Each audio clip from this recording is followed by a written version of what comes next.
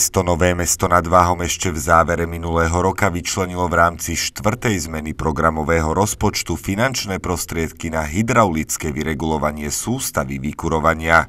To sa týka viacerých objektov, ktoré sú pod správou mesta.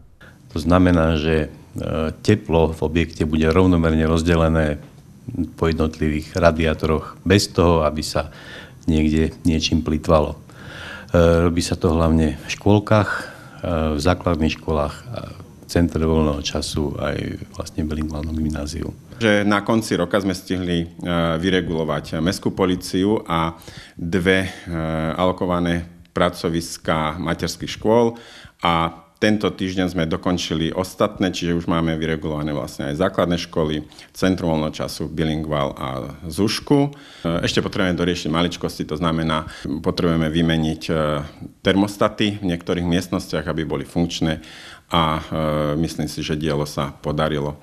V spomínaných objektoch si teda po vyregulovaní budú môcť prispôsobovať teplotu v jednotlivých miestnostiach osobitne dá sa v každej miestnosti nastaviť optimálna teplota vzhľadom na spôsob e, využitia, či už iná teplota bude v sklade, iná teplota bude e, v, tam, kde sa deti hrajú, tam, kde jedia, tam, kde spia.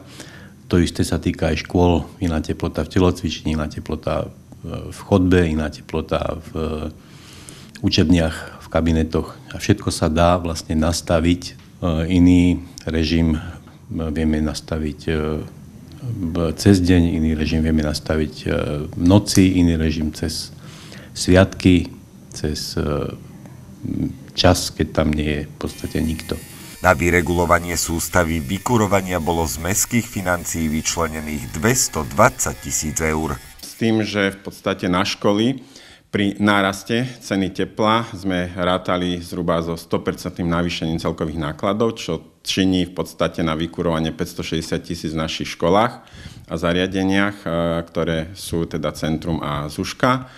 A vyregulovaním e, sústavy kúrenia vieme ušetriť e, v, se, v danej sezóne zhruba 15%, čiže ráta sa od 10 do 15% celkových nákladov, ktoré by sme vynaložili na, na zabezpečenie komfortu žiakov a teda sa aj zamestnancov škôl a materských škôlok.